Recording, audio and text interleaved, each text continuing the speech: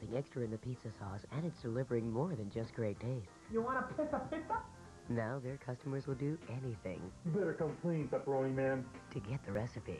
Cindy Cox and Jonathan Morgan star in By the Slice, only on Spot.